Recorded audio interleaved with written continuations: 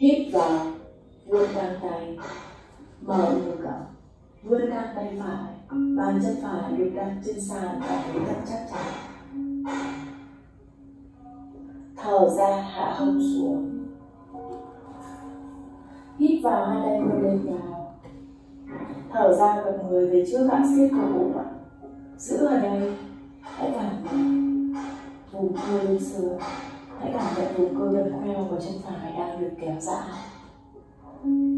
nhớ là phải siết bụng, lưng được giữ thẳng. Tiếp tục hít vào hai tay vươn lên cao thở ra gập người ôm chân phải.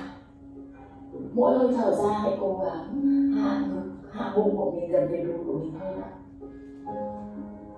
Hãy cảm nhận rõ vùng cơ gân khoeo đang được kéo giãn hít vào, hai tay vừa lên cao thở ra, nghiêng người sang bên phải siết cơ bụng, vươn căng tay trái, vươn dài cuộc sống.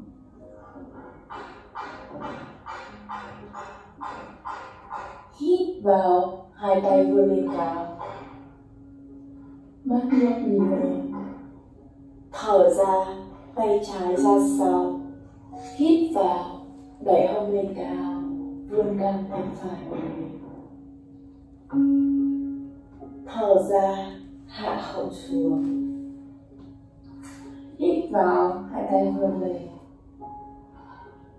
Thở động người về trước, siết bụng. Giữ ở đây. Giữ theo khả năng của mình. Năm, bốn, ba, hai, một. Hít vào, vươn tay lên cao.